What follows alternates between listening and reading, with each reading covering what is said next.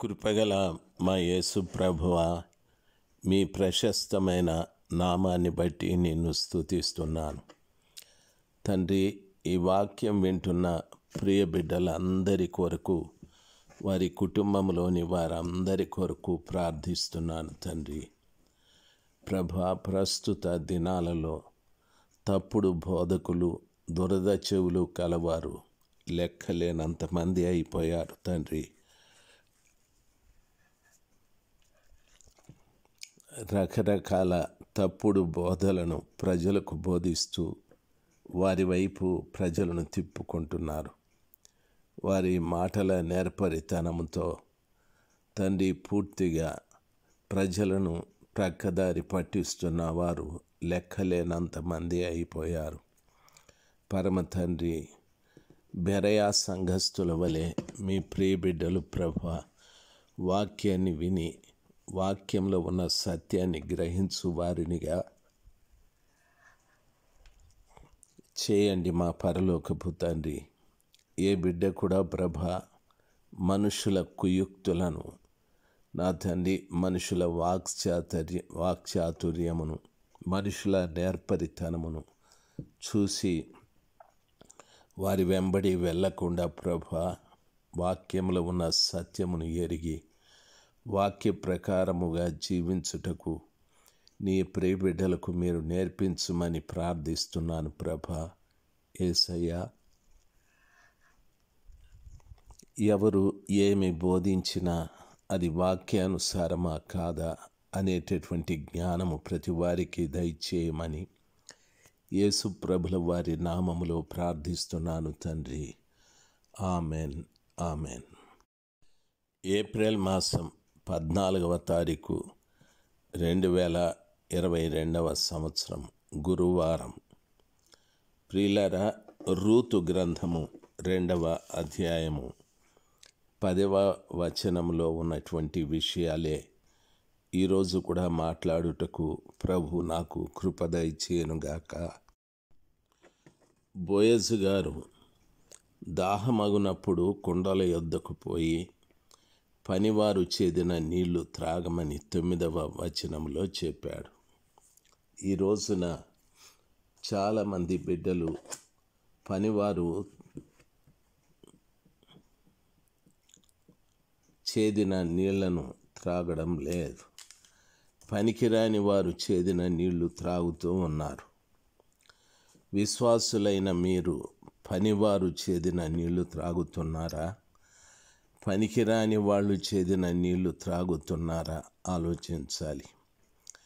పనికిరాని వారు లోక సంబంధమైన మనుషులు. డబ్బు మీద అపేక్ష కలిగి ప్రజల దగ్గర సొమ్మును ఎలాగ సంపాదించాలి అనే పనికి మాలిన వారు చాలామంది ఉన్నారు. తరువాత లైంగికమైన చింతనలు కలిగి ఒకటి రెండు మూడు వివాహాలు చేసుకునే వాళ్ళు కూడా ఉన్నారు. మూడు యేసు ప్రభుని సొంత రక్షకుడుగా అంగీకరించిన తరువాత ఆయనే మనకు తండ్రి తల్లి దైవము మొత్తము. అయినా మేము రక్షింపబడ్డాము అని చెప్పి లోకంలో వారు బ్రతుకుతున్నట్టుగా కులాలు జాతులు మతాలు అనేటటువంటి భేదాలు పుట్టిస్తున్న పనికిరాని వాళ్ళు చాలామంది ఉన్నారు.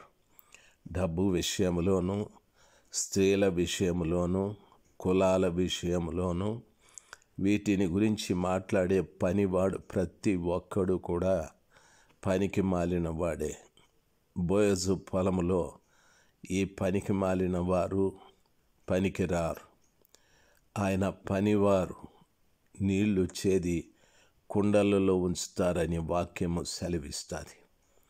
నా పనివారు చేదిన నీళ్ళను త్రాగి త్రాగుమని కుండల యొద్దకు పోయి నా పనివారు చేదిన నీళ్ళు త్రాగుమని బోయస్సు రూతు తల్లితో చెప్తూ ఉన్నాడు.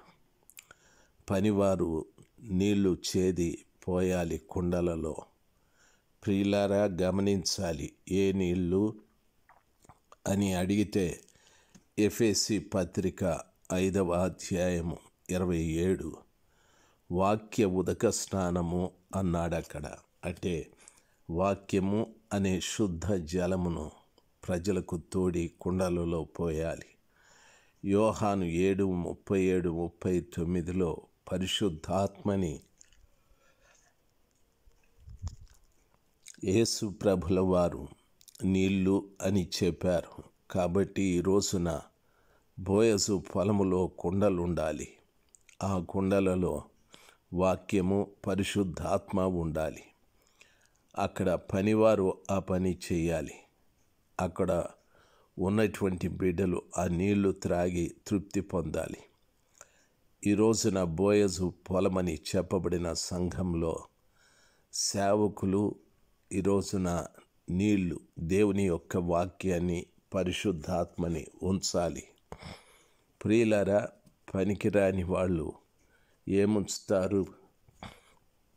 దయచేసి గమనించాలి. లైంగికమైన చింతనలతో కామతృప్తు తృప్తు కామాత్ములై వాళ్ళ ఇష్ట ప్రకారముగా ఆడపిల్లలతో సహవాసాలు చేస్తూ భక్తిపరులమని చెప్పుకునే వారు ఎంతోమంది ఉన్నారు.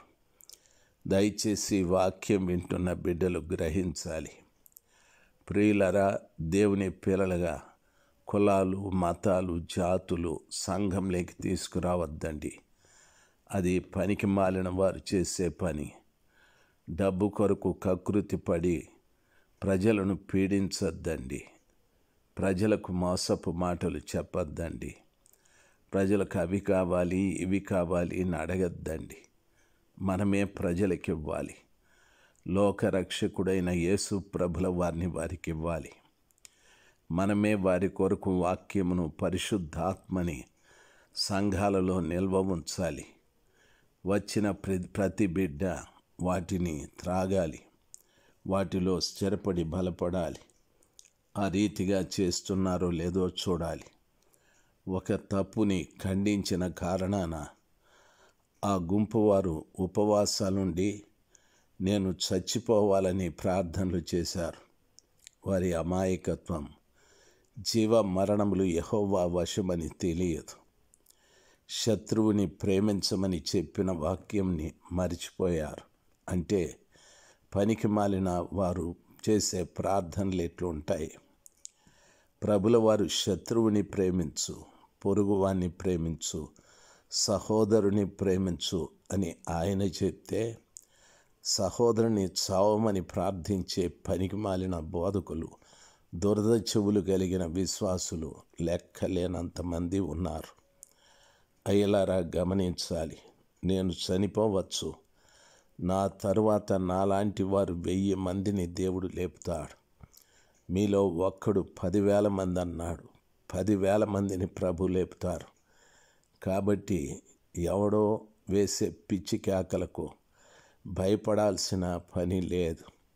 సర్వశక్తిమంతుడైన దేవుడు నన్ను రెండు సంవత్సరాలు పడక మీద పడుకోబెట్టి నేర్పించిన సత్యాలను లోకానికి తెలియజెప్పాలని ఆరాటపడుతూ నా దగ్గర టీవీలో మాట్లాడటానికి డబ్బు లేక ఈ వాట్సాప్ ద్వారా ఆ కృపగల దేవుడు నాకు అవకాశం ఇచ్చి ఈ పరిచర్య చేయిస్తూ ఉన్నాడు.